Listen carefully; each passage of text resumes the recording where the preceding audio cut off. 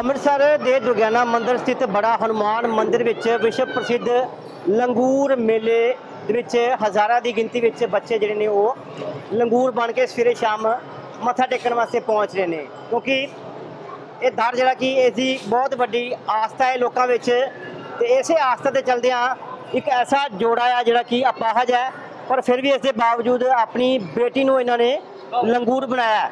ਮੇਰੇ ਨਾਲ ਹਰਦੀਪ ਸਿੰਘ ਨੇ ਉਹਨਾਂ ਦੀ ਨਾਲ ਧਰਮ ਪਤਨੀ ਹੈ, ਦੋਵੇਂ ਅਪਾਹਜ ਨੇ ਮਜੀਠਾ ਰੋਡ ਤੋਂ ਆਉਂਦੇ ਨੇ ਤੇ ਇੱਥੇ ਮੱਥਾ ਟੇਕਦੇ ਨੇ ਸਵੇਰੇ ਸ਼ਾਮ। ਭਾਜੀ ਕੀ ਕਹਿਣਾ ਹੈ? ਕਿੰਨੇ ਚਿਰ ਤੋਂ ਤੁਸੀਂ ਅਪਾਹਜ ਹੋ ਜੀ?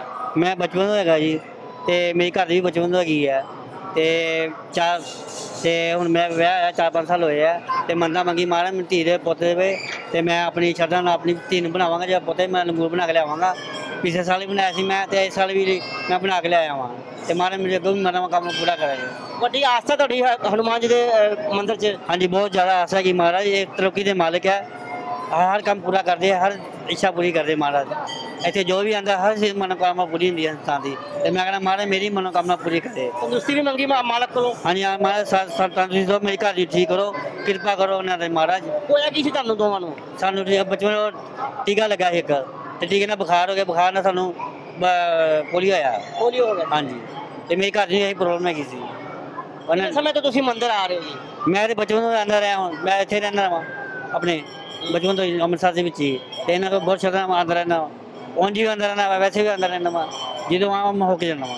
ਸ਼ਰਧਾ ਤੁਹਾਡੀ ਨਜ਼ਰ ਆਉਂਦੀ ਹੈ ਤੁਸੀਂ ਇੰਨੀ ਦੂਰੋਂ ਆਉਂਦੇ ਹੋ ਹਨਾ? ਨਾਲ ਵੀਰ ਚੀਅਰ ਤੇ ਆਪਣੀ ਵਾਈਫ ਨੂੰ ਲੈ ਕੇ ਆਉਂਦੇ ਪਏ ਸਵੇਰੇ ਸ਼ਾਮ ਆਉਂਦੇ ਪਏ ਹੋ ਤੁਸੀਂ? ਹਾਂਜੀ ਦੋ ਟਾਈਮ ਆਈ ਜਾਣਾ ਆਉਣਾ ਪੈਂਦਾ ਜੀ। ਫੇਰ ਸ਼ਾਮੀ। ਔਖਾ ਨਹੀਂ ਲੱਗਦਾ ਤੁਹਾਨੂੰ? ਨਹੀਂ ਔਖਾ ਨਹੀਂ ਹੁੰਦਾ। ਔਖਾ ਕਰ ਲੱਗਣਾ? ਜੋ ਕੰਮ ਕਰਨਾ ਪੂਰਾ ਤੇ ਫਿਰ ਔਖਾ ਕੋਈ ਨਹੀਂ।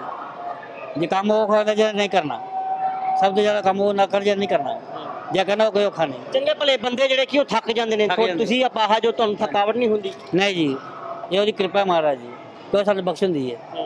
ਇਹ ਜਿੰਨਾ ਮਰਜ਼ੀ ਮਿਹਨਤ ਕਰੀ ਕੰਮ ਕਰੀਏ ਸਾਨੂੰ ਮਹਾਰਾਜ ਕਿਰਪਾ ਕਰਨ ਦਾ।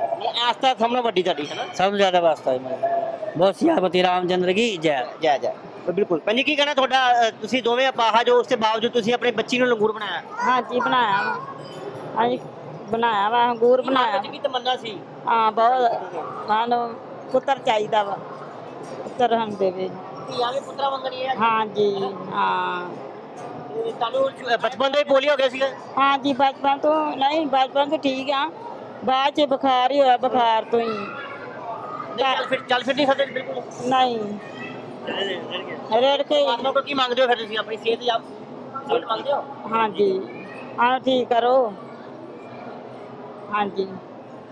ਬਿਲਕੁਲ ਜੀ, ਬਹੁਤ ਵੱਡੀ ਆਸਥਾ ਲੈ ਕੇ ਇੱਥੇ ਪਹੁੰਚੇ ਨੇ ਹਨੂਮਾਨ ਜੀ ਦੇ ਦਰ ਤੇ, ਕਿਉਂਕਿ ਇਹ ਮੀਆਂ ਬੀਵੀ ਦੋਵੇਂ ਜਿਹੜੇ ਨੇ ਅਪਾਹਜ ਨੇ, ਪਰ ਇਸ ਦੇ ਬਾਵਜੂਦ ਇਹਨਾਂ ਨੇ ਵੱਡੀ ਕਾਰ ਜਿਹੜੀ ਕਿ ਉਹ ਆਪਣੇ ਸਿਰ ਤੇ ਰੱਖੀ ਹੈ ਔਰ ਕਾਰ ਨੂੰ ਨਿਭਾ ਵੀ ਰਹੇ ਨੇ। ਸਵੇਰੇ ਸ਼ਾਮ ਇੱਥੇ ਬਜਰੰਗਬਲੀ ਦੇ ਚਰਨਾਂ ਵਿੱਚ ਹਾਜ਼ਰੀ ਭਰ ਰਹੇ ਨੇ, ਕਿਉਂਕਿ ਇਹਨਾਂ ਨੂੰ ਜਿਹੜੀ ਕਿ ਲਗਨ ਹੈ ਨਾਲ ਨਾਲ ਇਹਨਾਂ ਦੀ ਆਸਥਾ ਜਿਹੜੀ ਕਿ ਉਹ ਬਹੁਤ ਵੱਡੀ ਹੈ।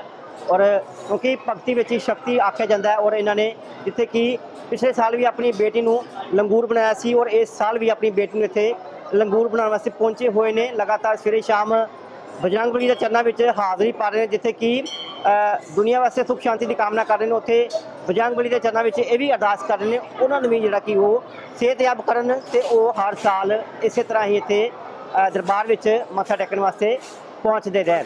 Camera person Vipan Sharma Sikandar Pasricha Dainik Surya TV Amritsar देश दुनिया की हर खबर सबसे पहले देखने के लिए फॉलो करें Dainik Savera TV YouTube Facebook Instagram X और व्हाट्सएप चैनल आरोप